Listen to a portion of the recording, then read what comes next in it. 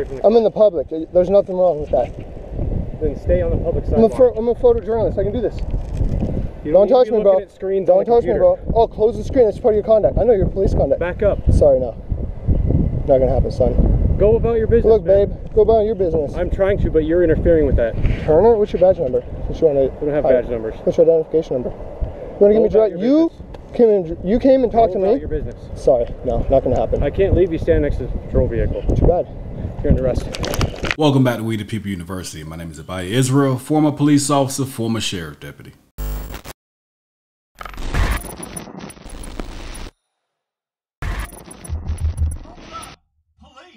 Today's video is brought to you by a YouTube channel by the name of Lilac City. If you have not subscribed to his channel, please make sure you go and do so. Today we're taking a look at the Spokane Valley Police Department located in the state of Washington. Many times police officers become irate or confused when confronted by First Amendment auditors.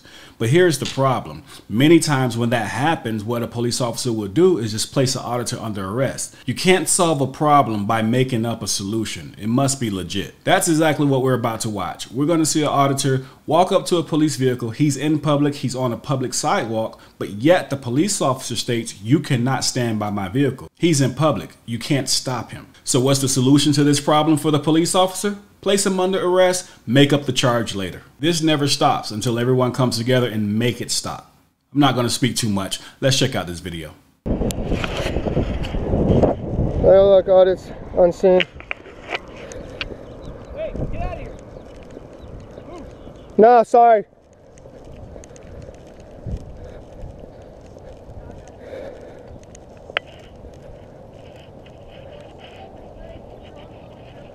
Lay down your stomach. Put your arms out like an airplane. Just lay down your stomach. Yeah, there you go. You? Perfect. Stay just like that. Stay like that. Don't move. Hey, this guy's filming. Hi, buddy. I just want to point this out really quickly. Why did the police officer feel the need to tell the other cop, hey, this guy's filming? Why is it that a man with a camera is more dangerous to them than a man with a gun? Is it because often there's something to hide? Hey, this guy's filming. Hi, buddy. Hey, you guys got your guns out, man. Of course I'm filming. This is for this man's safety.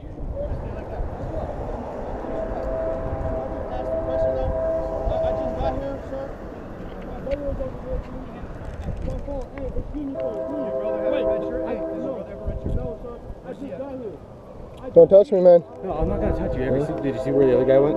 I ain't answering no questions, man. I'm just out here. I saw this shit going down, and you guys have guns out, and that's why I'm out here.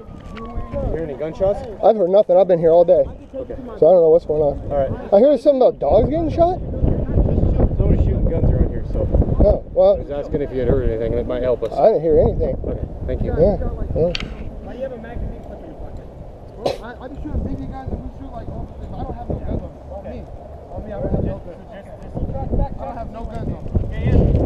On you?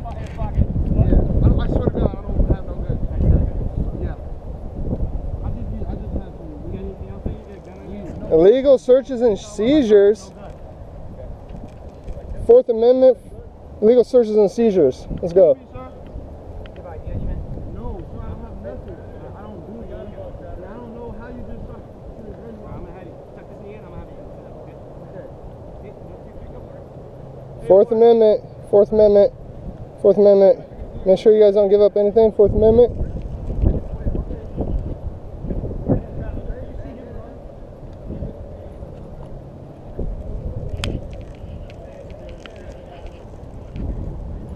You guys are coming out hot.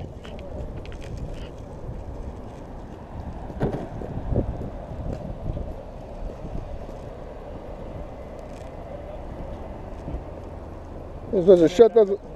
Oh, I don't have to. Yeah, you do. Oh no, I don't. Oh, for what?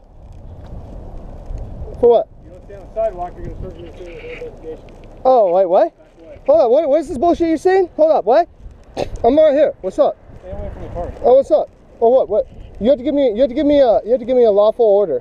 I am giving you. No, a- just order because you wear a the badge. Just because you wear a badge. telling you to stay away from the I'm in the public. There's nothing wrong with that. Then stay on the public I'm I'm, a photojournalist. I can do this. You Don't touch me, bro. Don't touch me, bro. Oh, close the screen. That's part of your conduct. I know you're police conduct. Back up. Sorry, no. Not gonna happen, son. Go about your business. Look, man. babe. Go about your business. I'm trying to, but you're interfering with that. Turner, what's your badge number? What's your We don't have badge numbers. What's your identification number? You want to give me direct? your You came and you came and talked Go to about me. your business. Sorry, no, not gonna happen. I can't leave you standing next to the patrol vehicle. Too bad. You're under arrest.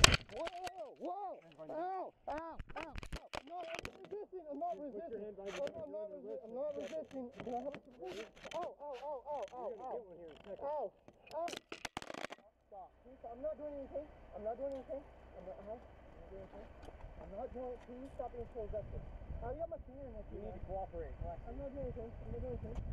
First Okay, then you need to follow the First Amendment and stop I'm interfering with our investigation. So this citizen was charged with obstruction. We clearly see that he did not obstruct anything. He was nowhere near the scene. The police officer was just upset because he was near his vehicle, which is not illegal. But other than the bogus charge of obstruction that most police officers use when they have nothing else to charge you with, I want to take a quick moment to explain the difference between obstruction of a police officer and obstruction of justice. They're two different things.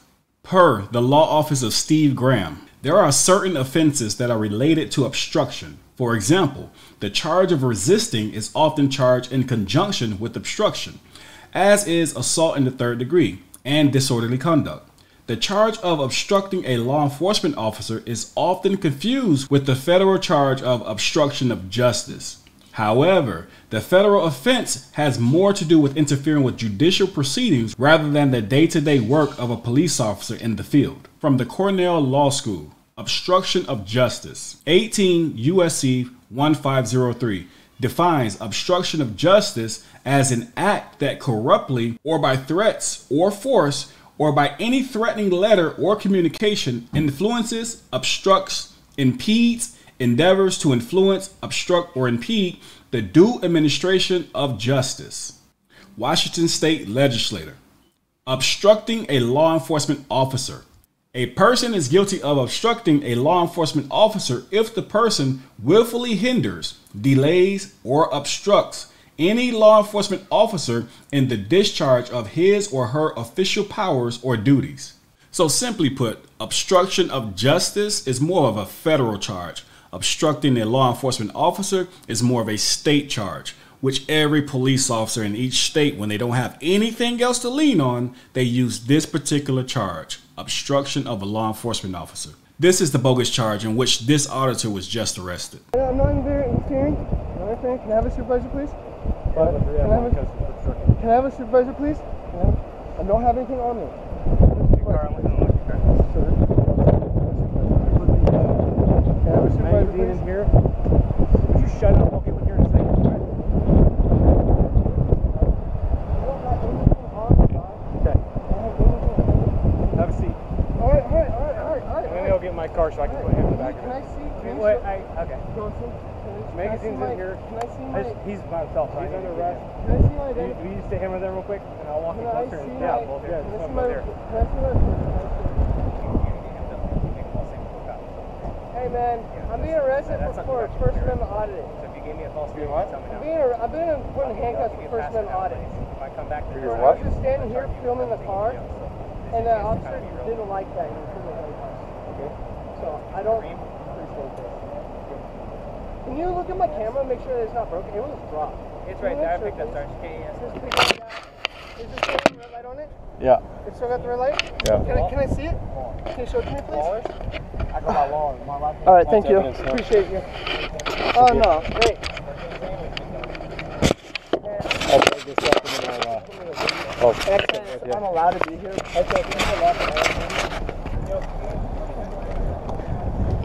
Yeah, let's put him in this car here. The link to the full video is down below. Make sure you go and check it out. Also, make sure you subscribe to his channel. So I spoke with Mr. Dean through email, the auditor in this video. He stated that he was thrown in a holding cell for being mouthy, which that's just another thing that police officers do as retaliation. They might throw you in a holding cell because they're so frustrated with the fact that you know your rights. So he was thrown in a holding cell held for 24 hours before being released. He's currently in the process of getting a lawyer. We're going to keep our ears open for the follow up on this one. But in the meantime, make sure you know your rights. Don't let your rights be violated. Make sure you download my free ebook. The link is down below or click the link above my head. Know your rights. Don't be caught without knowing. With that being said, we the people university signing off.